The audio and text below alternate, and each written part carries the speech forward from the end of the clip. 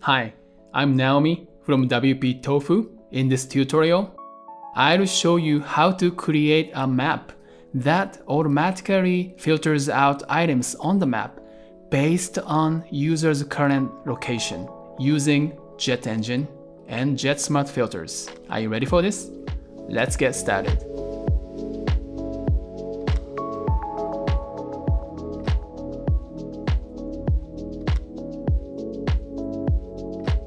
We are going to use three plugins, Elementor, Jet Engine, JetSmart filters. But if you want to use Gutenberg, you don't need Elementor. Next, we are going to enable map feature of Jet Engine. Go to Jet Engine and go to map listings and save. And refresh the page and now you see map settings here. So click this and here you can choose map provider. There are free ones but I have a Google API key, so I'm gonna choose Google. Put in your API key here, and that's it. Next, let's create a new post type. So go to post types, add new, and I'll name it cafe, and the slug will be cafe as well. And all we need is just a address field. So create address, and name, I'll put the underscore here it's to just differentiate uh, underscore address, object type field, field type. Let's choose map. Okay, that's it. Click add post type. Next, let's start creating instances of cafe post type. So go to new cafe and I always go to a cafe called D18 and now the address, here's a map. So you can find your cafe from here. I know it's a little bit hard to find, but I'm in Budapest and I'll find my cafe here. So I found D18 cafe, so I'm going to press this button here. Then now you see there's this red. I know it's overlapping with orange, so it's hard to see, but you see this is now pinned. And now you see here's a coordinate, latitude and longitude. So this is good to go, so publish. Now I'm going to create more instances of cafe post type. Okay, so I created these six different cafes. Now we're going to create a listing item. So go to Jet Engine listings and add new resource listing source post. Post type is cafe. So cafe listing item and listing view Elementor. Create listing item. This listing item will be shown when user clicks a pin on the map. And we want to show the information of the cafe, but all we have is the title. So let's say type in dynamic field and drag and drop. So we can just show the title. Okay, maybe we can just center it. Right? And maybe just uh, make it bold. That's it. Update. And go back to the dashboard.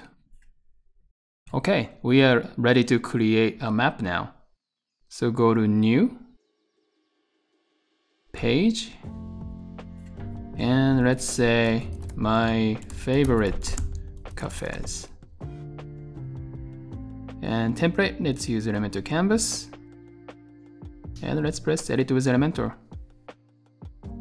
Let's search for map and map listing and search for cafe cafe listing item. And the important thing is address meta field here. So I tried putting address here, that's a meta field, and it actually works, right? Looking looks like it's working. But also I tried in here, use lat lng, so latitude and longitude address meta field. I pressed in here, and it works. The explanation says for human readable address.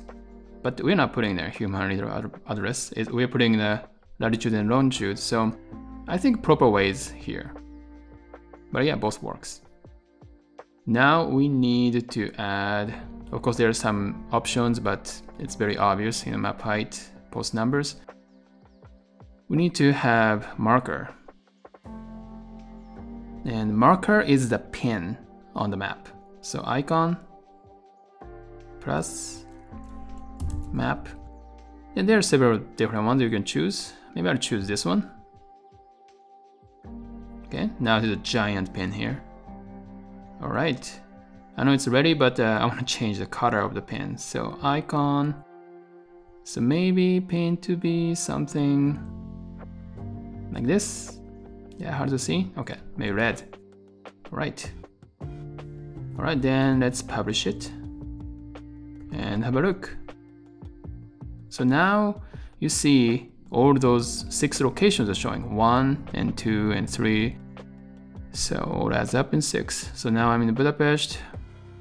There are these locations, and if you I click, so now D18 shows up, Eco Cafe shows up, right?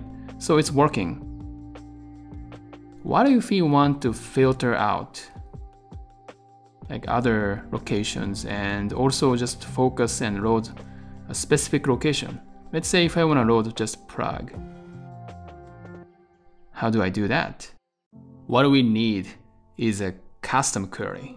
So go to Jet Engine, Query Builder, add new, and let's name it Prague Map Query. Query type, post query. Post type, let's choose cafe and go to GeoSearch. Now we want to find Prague here. So, where is Czechia? Okay, Prague is here. And near the cafe you set, just drop the pin. Again, well, center is fine here. Okay. So now here is the pin, and here's the latitude and the longitude. You can also reset the location. And you set address here. I mean the address field. So address field The name is address. And you have to set the distance. What does what this means is from this location, you know, the distance, the radius, like kilometers. Now you can set the kilometers like this. Let's say 20 kilometers, like 20 kilometers from this radius. That's the only place that this map will find cafes. That's what it means. So go to add query. Then go back to the this page. But you probably need to refresh the page so that the query is going to show up. Okay, so now go down with this edit map listing. Then here's custom query. So enable it and select Prague map query. So now the map, this is actually Prague and just showing those two. Let's update and see the actual page. Okay, see, this is Prague, right?